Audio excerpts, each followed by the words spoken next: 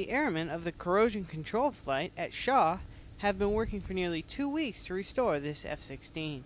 It took the whole first week just to sand away the old paint, and now they are ready to apply the new paint.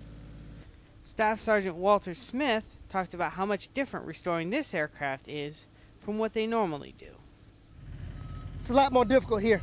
You got outside environments influencing everything, and this aircraft is on a pedestal right now. So we have to do everything from the lift. The longest and most labor intensive part of the process is stenciling. They use a technique called reverse stenciling to put all of the signs and numbers that you see on the aircraft into place. First, they have to put all of the stickers onto the airplane and then they are ready to apply paint.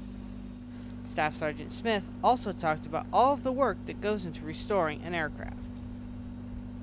It entails sanding, washing the aircraft, in this case wiping it down, priming the aircraft, which is the glossy color you see behind you, dark gray, and these guys are applying the top coat right now, and then clear coat, which is the fifth and final step.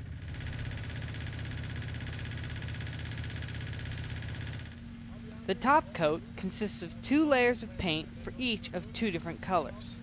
The first is a lighter color that gets sprayed over the entire airplane, then a darker color gets sprayed only over the top of the aircraft.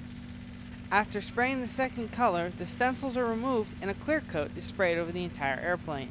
After the clear coat is applied, the jet will need to sit and cure for three days. Senior Airman Chris Beaver, Shaw Air Force Base, South Carolina.